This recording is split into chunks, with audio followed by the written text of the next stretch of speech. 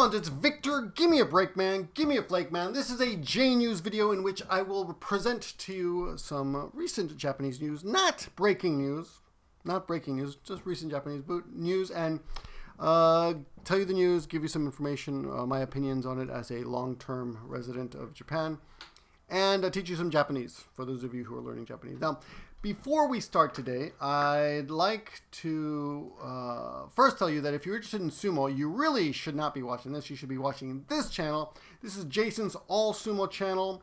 It is a great channel. It's um, it's quite popular. Uh, he's got it's got six million views, and all it does is sumo. All it does is he re-uploads sumo videos.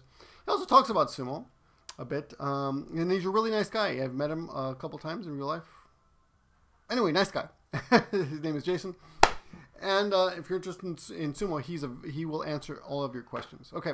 Now, a little background for those of you who don't. Well, actually, where should, I, where should I start? Someone accused me of um, burying the lead. So this is the lead. This is the lead. By the way, did you? By the way, did you know that uh, uh, uh, burying the lead is spelled L-E-D-E? I didn't know that. I always thought it was L-E-A-D, but it's apparently L-E-D-E. You know, learn something every day. Uh, so this is the actual news, all right? Let's get to the news first, which is, where is it? Here it is. Kise, yes. Kise no Sato uh, has become the first Japanese sumo wrestler to reach the position of Yokozuna, which is the highest position of Yokozuna, of, of a sumo wrestler. He's becoming the 72nd, as you can tell by the link uh, to my, to my, well, actually it's on my left here. I'm facing the screen. But anyway, you, you can see it. It's on the screen next to me and uh, and it's a big deal because he's Japanese, and we haven't had a Japanese uh, yokozuna, which is again the top level, for 18 since 1998, I think. So it's like 18, 19 years, a long time. So everyone's ecstatic. Everyone's really happy, and there's a little, there's a little, um, there's kind of some fishy things about this story. So I want to get into that in a minute. But before we get into that, for those of you who don't know anything about sumo, I, I took some notes here. I want to give you some information. Sumo, by the way, is a really fun, fun, fun thing to do. If you ever get a chance, if you ever get a chance to come to Japan, I definitely would recommend it. I've been, I used to follow sumo uh, pretty closely back in the day, nine, uh, about 25 years ago when I first came over. It was a lot of fun. The days of Wakanohana, Takanohana, Konishiki, Akebono, all those guys. It was, it was just great. And if you knew who everyone was, um, you could, um, well, you would just enjoy it, right? It was just, oh, yeah, that's that guy and this guy. And, but um, even if you don't, going to the sumo bouts, the sumo tournaments, uh, and there are there are six formal uh, official tournaments a year. There are like there are like uh, what do you call them, demonstrations and and other things to help promote the sport. But there are six tournaments a year.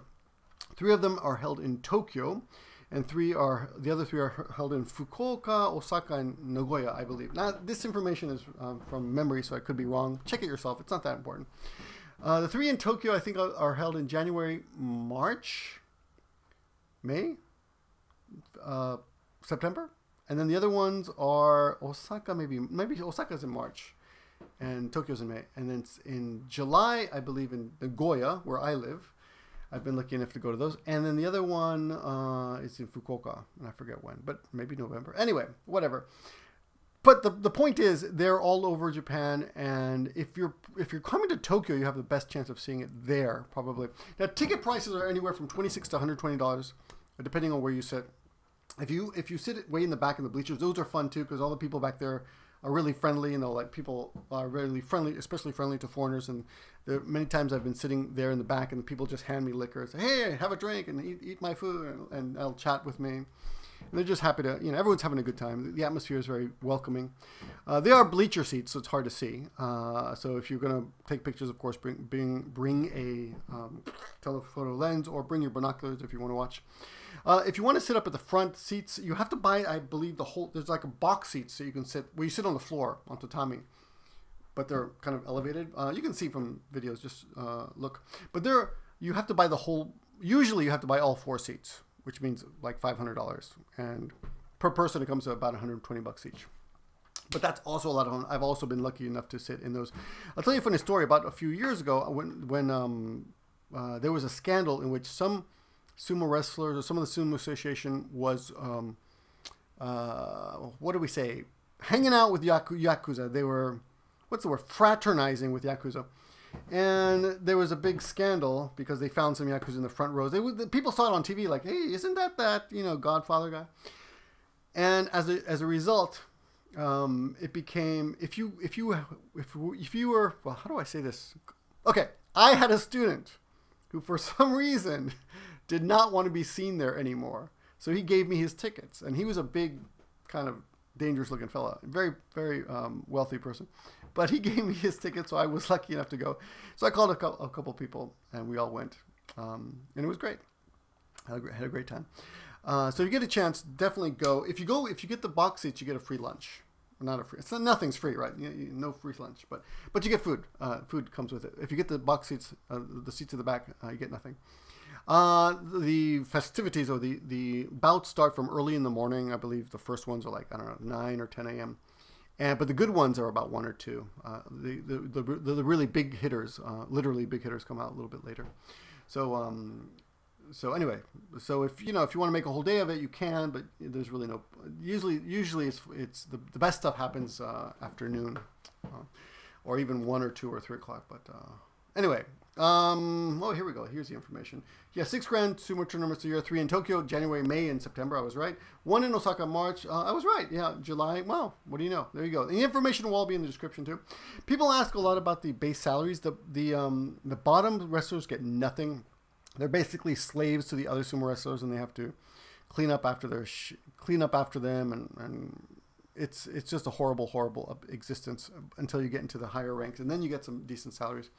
The the yokozuna gets, as you can see here, twenty three thousand dollars a month, which is about a teacher salary, so per month. It's pretty good. Anyway, there have been some uh, scandals in the past of Yaocho. There's a wonderful book about statistics, and the name escapes me now, but there's a book about statistics that that um, pretty much proves that match fixing must have happened, and there's actually been a few cases of match fixing, um, which is to the dismay of sumo because of course they're all uh, very proud of being honorable and noble and honest people. There's also been scandals of hazing, which oh by by the way, let me show you here. Uh, yeah, you don't need that. Uh, Yaocho is max uh, match fixing, and hazing is ijime. Basically, ijime is also bullying, but that's basically what it is. Okay.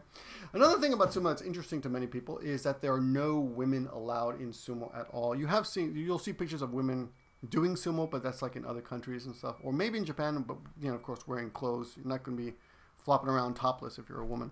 And I guess if the and when I say flopping, I don't mean actually boobs flopping. I mean fat because even men, we I mean men, not me particularly, but men flop because they're so big, and so much meat, you know. Blah blah blah. Anyway, that's not the actual sound. That's a that's a simulated sound, by the way. So, women are not allowed in the sport, and to the extent, check this out. Uh, yeah, this is Jason's channel. Check out that channel. I'll put that link in the description. Women are not allowed in the dohyo. Dohyo, and this is the ring here, as you can see. This ring, this is the where they wrestle, and this is called the dohyo, and it's it's very sacred. And when they build it, some Shinto guy comes there and he blesses it, and no women are allowed. And there've been cases like I usually the mayor of the city will like open the ceremonies on the first day, um, or maybe previous to the first day. But he will he or he will he I'm sorry I almost said he or she, but he will come and take part in the ceremony. Now there was a case I don't remember. I want to say Fukuoka, but it wasn't Nagoya. But there was a case in which a woman was uh, supposed to do it, but the sumo people said no, no, no, no, woman cannot touch in there. And there was even a case of some crazy woman who tried to like, jump in there and they, they tackled her. So it's you know there's feminism happening in Japan, not to the extent of uh, the Women's March, etc. that happens in America, but but it does happen here. There are feminists here. Anyway, uh, in that respect, uh, you know, it's from a Western point of view, we can argue is is it a sexist sport for that reason alone? Yeah, I guess so. You know, but um, I mean, it's something that they wouldn't even consider sexist. No, it's just you just women don't do that. Women cannot be in the sumo ring. Okay, though sumo wrestlers are quite infamous for being quite um, uh, free with their sexual favors. They're, they're they're known to be playboys. Okay, and it's not a bad thing. Uh, yeah, they're studs. Okay, uh, believe it or not. This is a uh, old, as you can see, sumo, wrestle, sumo wrestling has been around forever. Uh, it's depicted way back. Uh, how many tens, I don't know, hundreds of years ago. But this is called a rikishi, rikishi, rikisha. Rikishi and Riki, of course, means strength. And you probably know the word rickshaw, and that comes from the same kanji, Riki, Riki, Rikisha. So Riki is uh, using your strength to do something. Sha, by the way, is wheel, but in this case, Rikishi, she is a person, strength person, literally, I suppose. Uh, there, there they are, Rikishi. They are huge people. The biggest one in history is a, it was uh, Konishiki, which was a Hawaiian, and he was uh, he was um, trying to be Yokozuna. Uh, he was, everyone thought he would be Yokozuna back in the day. There was a, there was a situation where in uh, back in the day when the New York Times called him at his home. I think it, he was on vacation in Hawaii or something, and someone picked up the phone, and you know the the, the initial reports were Konishiki was saying that they didn't they don't uh, they didn't allow me to become yokozuna because I'm a foreigner, and there were uh, accusations of uh, racism, you know, because you know they, they, in those days there had not been any foreign uh, um, yokozuna yet. I believe the first one was Musashimaru, or maybe it was Akebono. I don't quite remember, but but soon after that, soon after Konishiki never made it to to uh, to Yokozuna, but he was the biggest one in history, and you often see pictures of him. He's I'm sure you can find a really cool pictures of uh, Konishiki. He, by the way, has become a singer, and he appears now on Japanese TV, and he's one of the few sumo wrestlers that has kept his name. It was it was hard to do. Usually, you don't you, you don't get to keep your name. He has kept his name. This is the these are some of the famous pictures you see of Konishiki. Uh, huge, right? Anyway, but uh, he's kept his uh, name. He's cut his hair. You have to cut off the the chonmage at the top there. There, there's a special ceremony when you retire from the sumo world and you lose your name. But there, I, I guess I don't think that everyone loses their name, but most people, most people are not allowed to keep their name. Right. Here's another famous picture of um, Konishiki. Just to just to show you this because I'm sure you've seen these before somewhere. That's a Getty image, so I shouldn't be showing you that. Anyway, uh, you can Google all this. It's funny how you can I can you can Google it, but I can't show it to you here. Anywho, uh, so yeah, so so the funny thing is that after Konishiki be, did not become a, a yokozuna, quite a few others became yokozuna, quite a few, few other foreigners, and after that it was basically dominated by foreigners. In fact, there were no more Japanese yokozuna at all until Wednesday of this week, in which finally, should we go back to uh, there it is. Not this. Oh yes, yes, yes. This we're going to get to that in a minute. Until Kisenosato became the 72nd yokozuna. Now, usually to become a yokozuna, you have to win two tournaments. Now, there's a tournament consists of 15 days of bouts, and it's basically elimination. You you fight somebody, and if you win, you go on to fight someone else who has also won, and you basically it's, it's an elimination round of 15 days. And usually, you become a yokozuna when you have won two of these tournaments. Now, Kisenosato has not won two. So some people say, ah, they just you know jumped the gun and gave it to him because he's Japanese and he's pretty good, good enough, and they just wanted to give it to a Japanese person, which you could argue. But uh, in his defense, Kisenosato is also has the best score, the, the, the highest number of wins in 2016. In 2016. Uh, which means which is strange. So he won. He did not win any tournament, but he he accumulated the most number of wins, uh, you know, bouts for the whole year. So that is impressive. So I guess that is a good enough reason to uh, to name him Yokozuna. Um, now I was sent this. Uh, uh, now, uh, again, there are links in the description to this. I was sent this uh, story by one of my subscribers who actually initially wanted me to to translate this six-minute video. He goes, "Could you please translate this in English?" And it's mumbling. I can barely understand it. And even if you watch uh, even J- Japanese people are like, I can't hear what he's saying. He's just mumbling. Uh, and a lot of, when you come to Japan, speaking with men, and this is about as manly, manly and macho as you can get. They mumble a lot and they speak in kind of man's English, and you can't really hear. And also, it's just a bad, it's a bad recording. So this uh, this interview is just it's hard to hear. However, there is a little, there's a shorter, much shorter um, interview later, and they even su- supply subtitles. So even regular Japanese people have trouble hearing, so they supply subtitles. But I will, um, yeah, I will go through this. Now, before I get into that, I want to mention one more uh, interesting point, which is that if you read the English articles and the Japanese articles, there is no mention of a character, character, a Mongolian yokozuna who retired a few years ago, named Asashoryu, and it's a really fascinating story. So I'm going to link you to his uh, Wikipedia page, where the hell that is.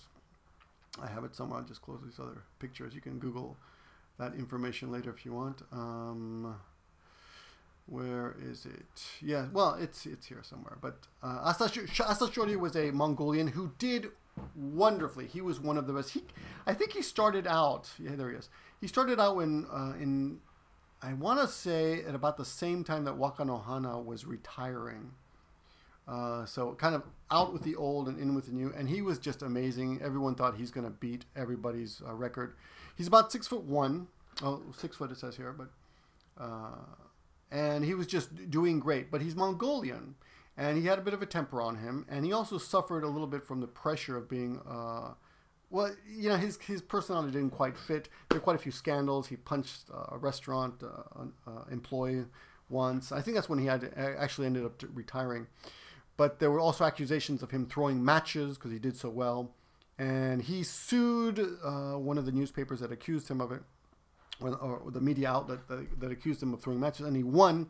And to this day, I believe it's the highest uh, defamation suit ever won uh, in Japanese history. I think he won like something like four hundred thousand dollars, which may not seem a lot to you, but in Japan, like nobody wins any money for stuff like that.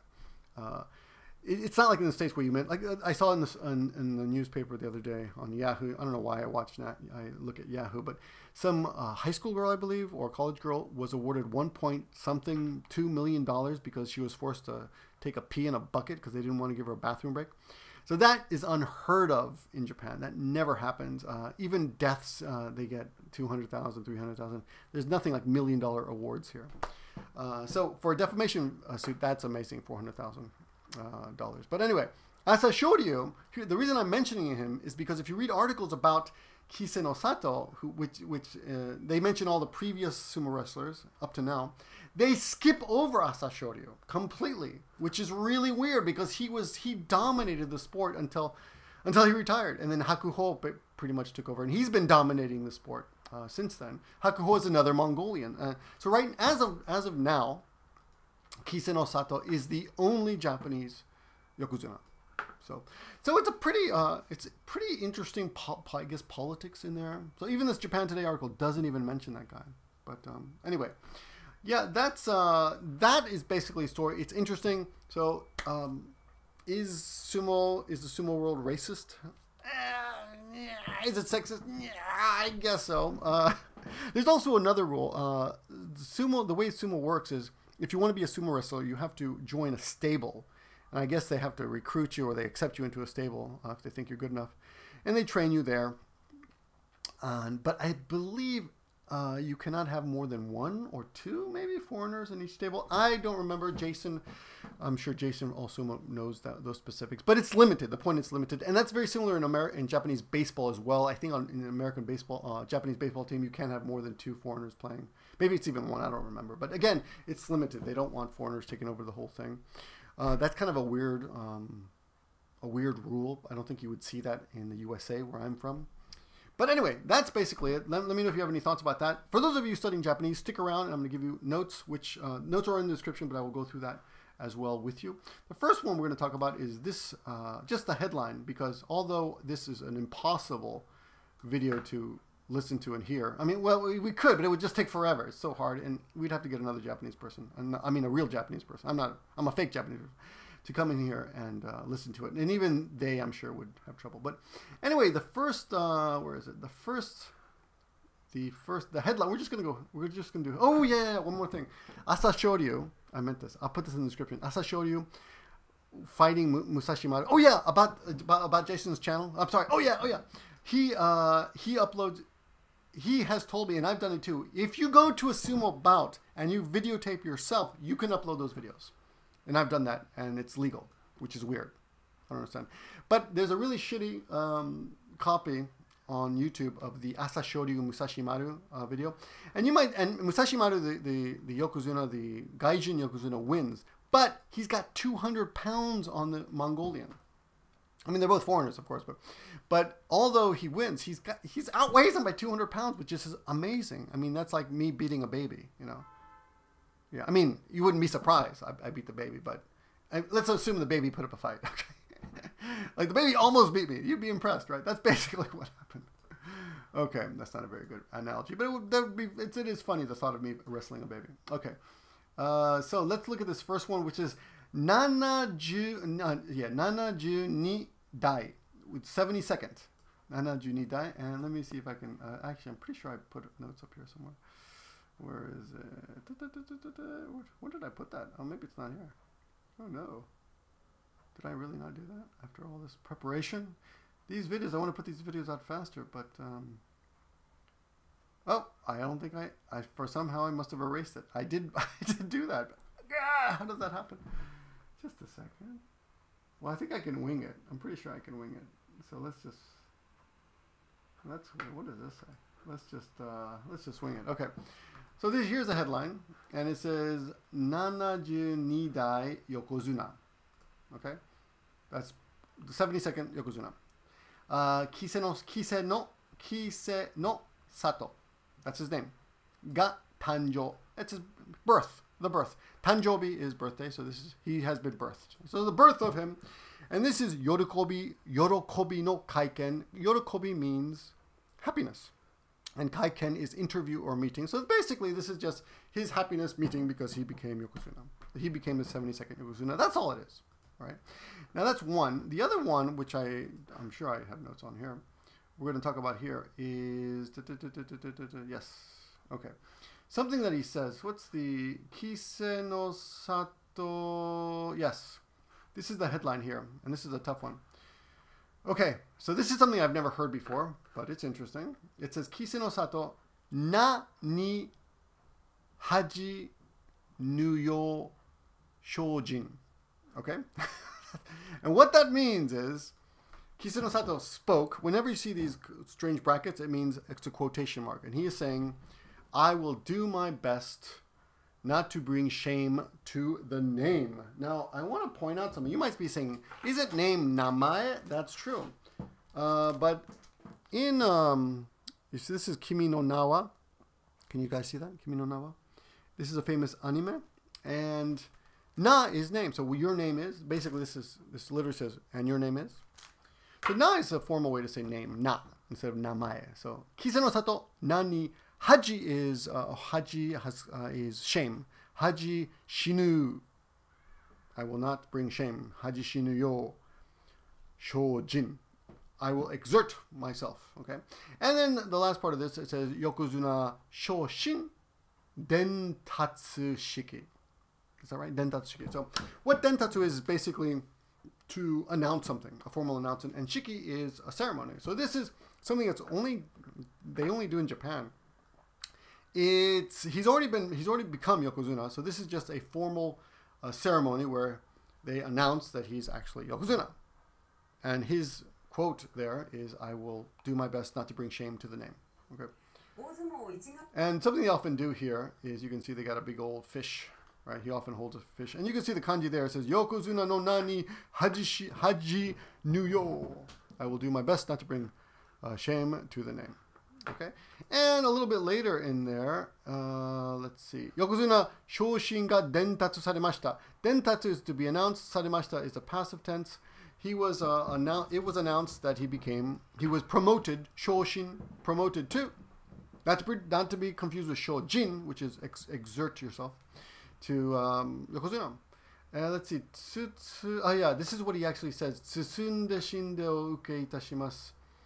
Uh, oh, I forgot what that means. It's very formal. Let's see. What is this? No, it is. Uh, notice all the microphones there. This.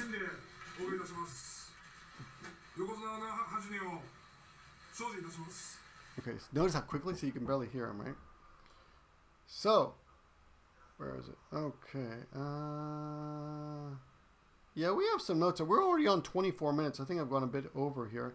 I'll tell you what. Uh, the rest of the video is kind of a, it's it's kind of painful to do the listening to. So so if you're interested in that, I got links in the description. Uh, go ahead and check those out.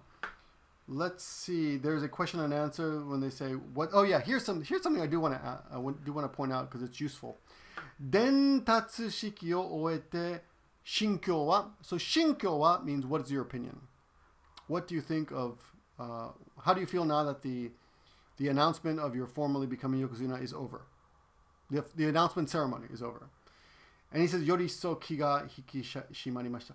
hikishimarimashita, which means basically I felt more like tight uh, pressure in my chest than I expected it would be. So yoroi kiga kiga hiki hiki hikishimarimasu is uh, yeah, kind of a feeling of not anxiety, but um, uh, ha- I want to say happy anxiousness. It's just I got this tight feeling in it, but it's in a good way. It's a po- positive way. And shinkyo is your mental state. So when you ask someone shinkyo wa, shinkyo wa, it means what's your mental state or what do you think about that, right? Uh, his answer later, you'll see in the video, is motomoto ningen teki ni seichou shite. I have grown more and more as a human being. Ningen teki ni is hum, human, it's an adjective for human. Seicho is to grow. Motomoto is more. So motomoto more humanly, in a way, in a human way, I have grown. 尊敬されるような横綱になっていきたい. I want to become a yokozuna that will be revered or honored or respected.